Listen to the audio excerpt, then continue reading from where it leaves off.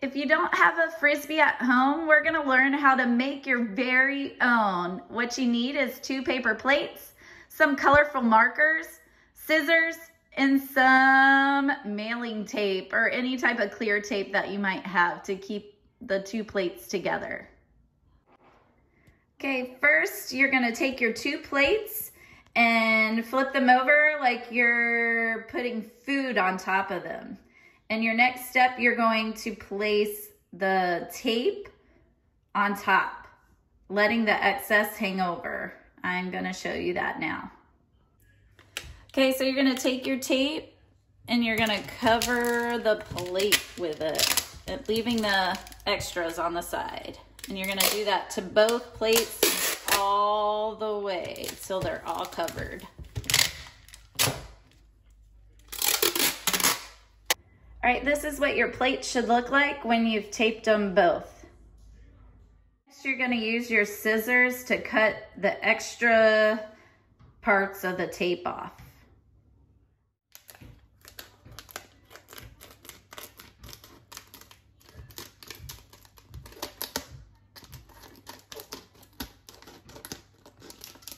Once you've cut the extras around the plate of the tape, you want to flip them over and get your markers ready.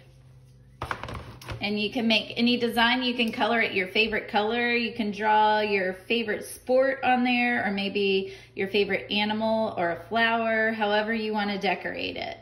Remember when you decorate your Frisbee to just do the outsides of the plates not the inside because we're going to be cutting a circle in the middle of the plates. Now you're going to put both the plates together and press them together, the decorated sides facing out. And you're gonna press it together and cut a circle out in the middle of the plate. You might want to have a parent help you poke a hole through it first with something to help you get started with cutting out your circle.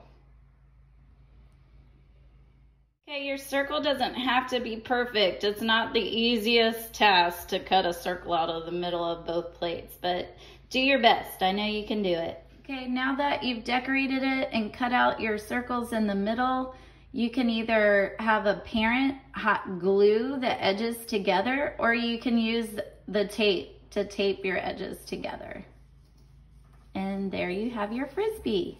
Now that you have your Frisbee made, I'm gonna show you a few fun activities that you can do with your homemade Frisbee.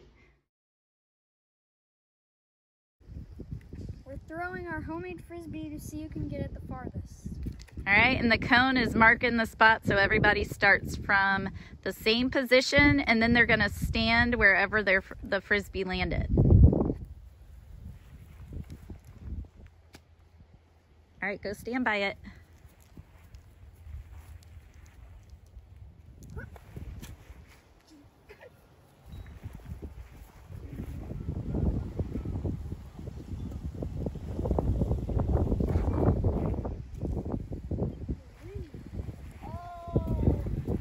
It's a close one. First, second.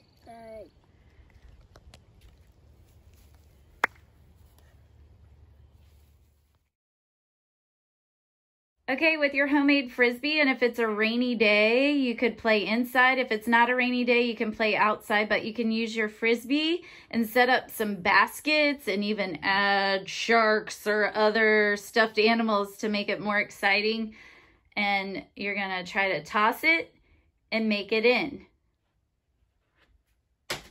You hole in one. And then you can also have some other baskets set up and try from a different distance. You another hole in one. Great job. All right, another activity to do with your homemade Frisbee, inside or outside. You can grab your broom and have somebody hold it for you and then stand at a distance and you're gonna try to toss it and get it around it, almost like a ring toss.